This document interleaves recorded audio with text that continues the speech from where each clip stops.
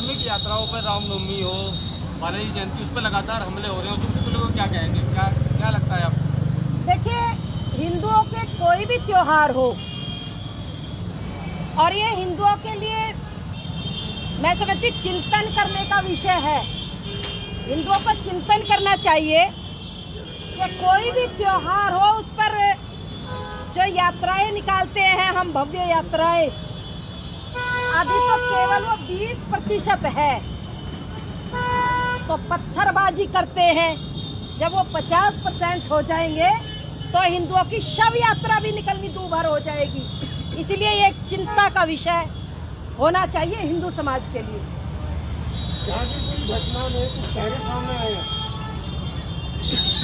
कुछ घट चेहरे नहीं, एक समुदाय के लोग ही विशेषकर जहाँ पर हिंदुओं की यात्राएँ निकलती है। उस पर पत्थर भी फेंकते हैं उस पर गोलियाँ भी वो चलाते हैं। और कुछ लोग आ, एक हैदराबाद से आवाज़ उठी है एक नेता की। वो कह रहा है कि एक ही संप्रदाय के लोगों पर सिकंजा कसा जा रहा है। ओबीसी बताए इस देश को जब पत्थर मारने वाला अब्दुल है अफजल है जाकिर है या कासिम है तो कार्रवाई तो उन्हीं पर होगी ना।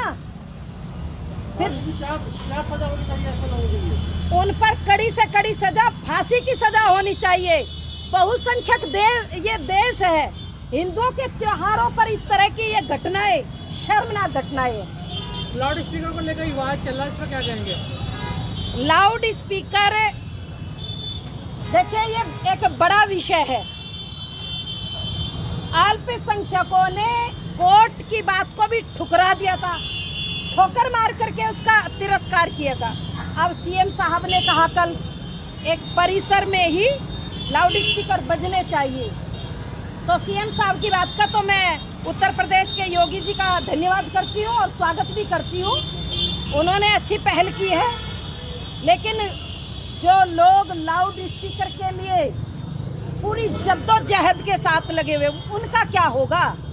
ना वो कोर्ट को स्वीकार करते कोर्ट की बात को ठोकर मार देते हैं, और ना ही वो उत्तर प्रदेश के मुख्यमंत्री की बात मानेंगे, मुझे ये विश्वास है। उनको तो अपमान करना है, हिंदुओं को भी टारगेट बनाना है, और उत्तर प्रदेश के मुख्यमंत्री का भी अपमान करना।